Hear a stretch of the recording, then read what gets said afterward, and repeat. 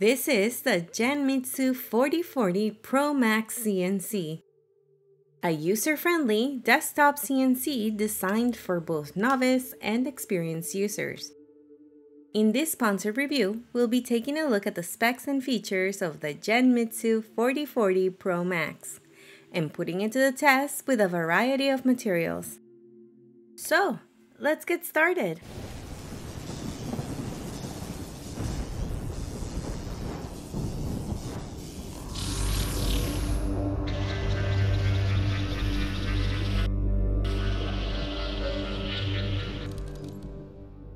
Welcome back to Space Age Tech, where we look at the tech that pushes the limits.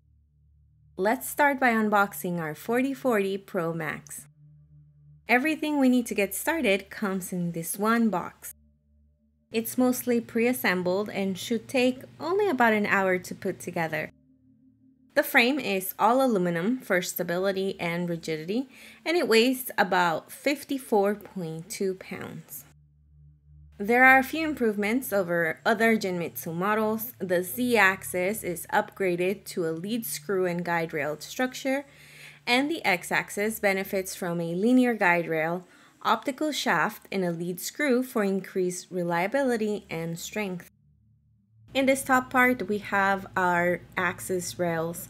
We'll lay them all out and take a closer look on the next section. We have two support blocks, one for each side of the x-axis.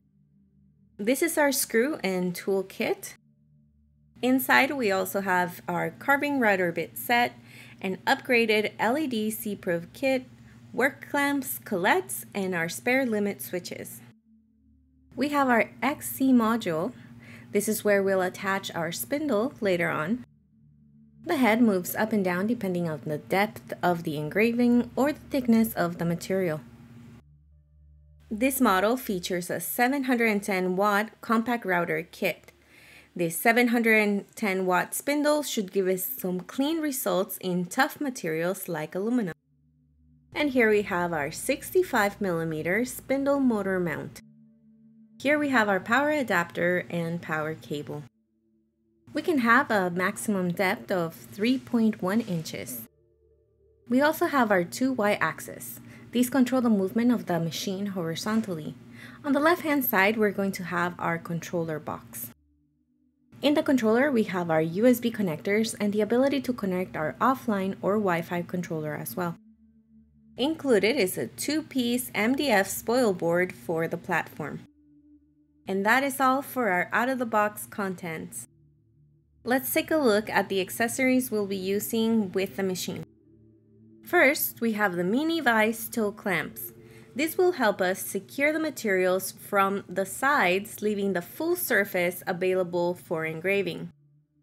The kit does come with basic clamps. They pin down the material, but in doing so, they obstruct some of the engraving area.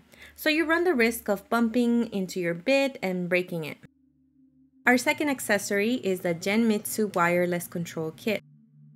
This kit hooks onto your controller and enables you to effortlessly control your CNC machine remotely using your smartphone.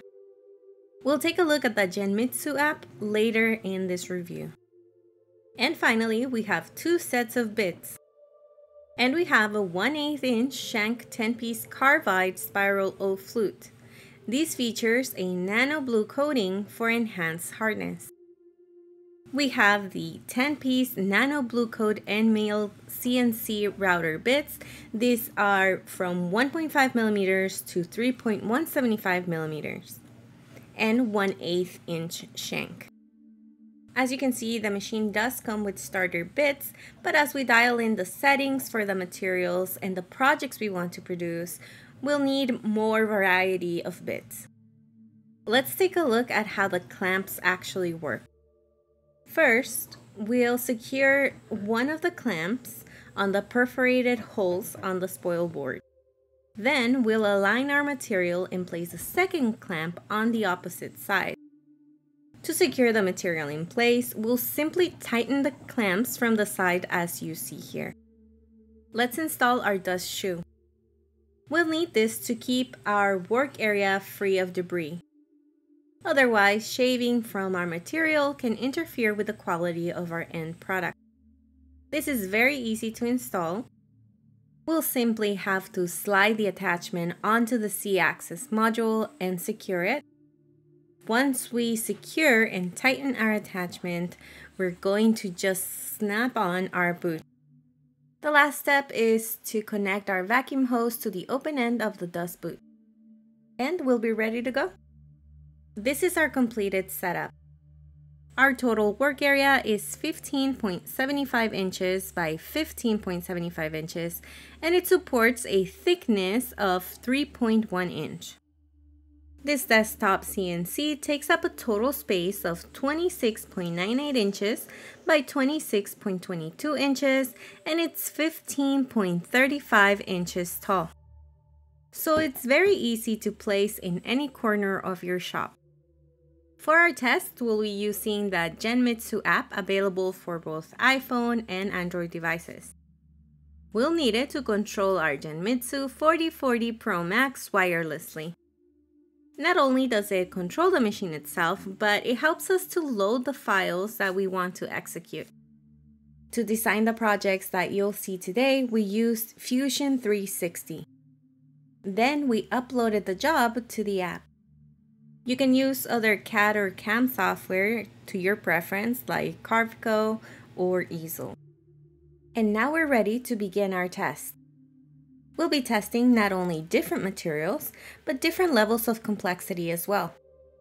This will give us a good idea of what the Genmitsu 4040 Pro Max can do.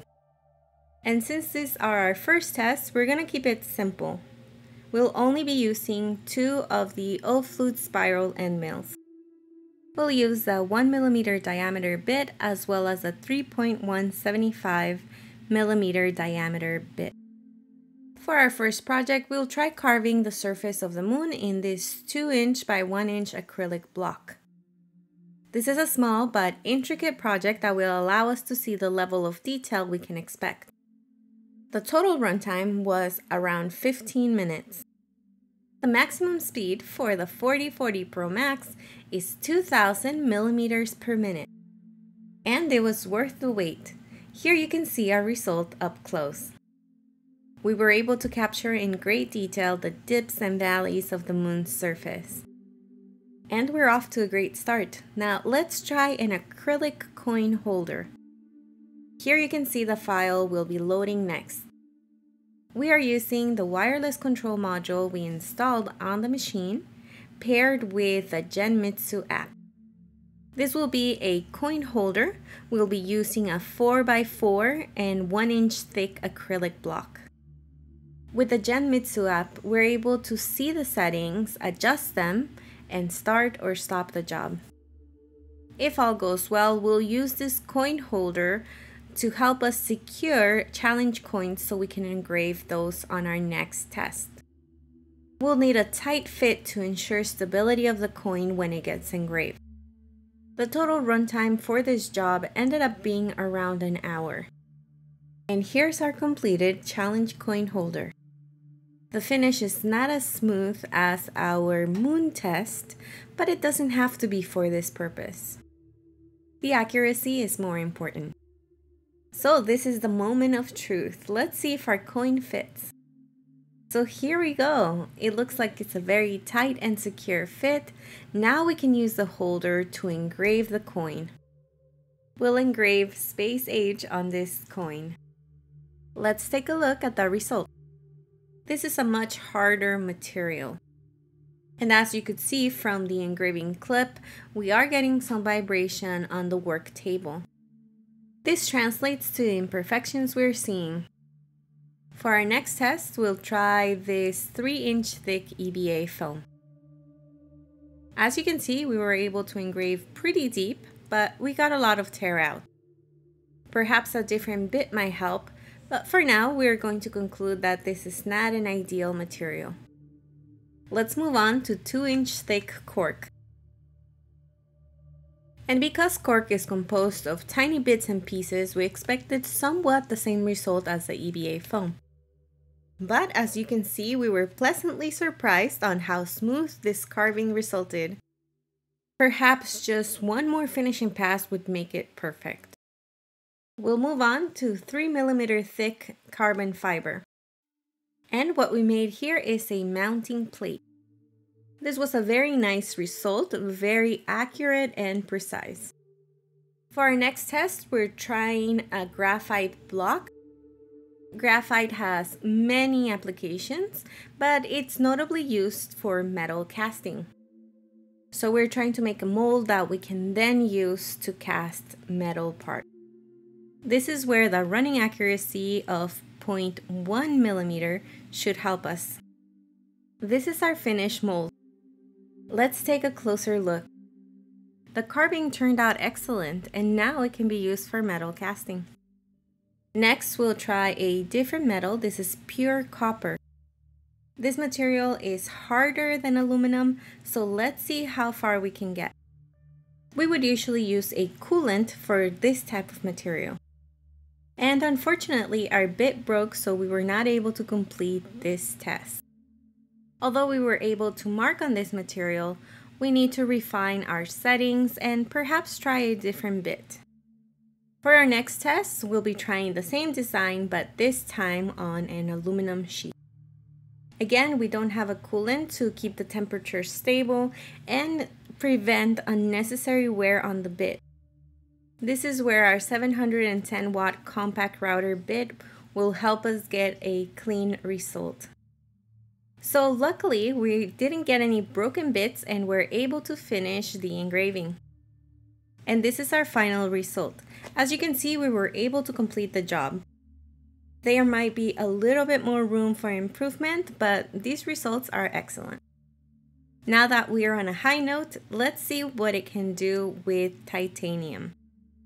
We'll try to do a pendant type shape so we can test out if we can actually cut through this material. This is a pretty hard material and due to the vibration on the work table, the pin from the clamp fell off. However, our job did complete and did not fail. It cut through cleanly all the way.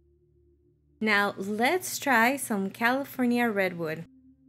We'll be carving a terrain map of the state of California. This wood is not necessarily hard, but the design is very intricate, so we crossed our fingers the whole way. And it really paid out. Look at all the detail in the mountains, ridges, valleys, everything we have in our beautiful state. It really came to life. And since we have a little piece left on our California redwood, we thought we'd engrave a Celtic knot design. This is a beautiful design and it came out just perfect. And the possibilities are endless. Today we tried a little bit of everything from acrylic to wood to metal, and we got consistently good results. This is really good for a desktop CNC. So, what did you think? Let us know in the comments below. Those are all our tests with the Genmitsu 4040 Pro Max. Most importantly, we love the performance with almost all the materials. It was easy to put together, easy to operate, and easy to fit in any corner of our shop. If you're a novice or need a small machine, the Genmitsu 4040 Pro Max might just be for you. If you're ready to get yours, see the links in the description. We'll be reviewing this and other amazing technology in our upcoming videos. If you liked this video, please like and subscribe. It really helps our channel grow.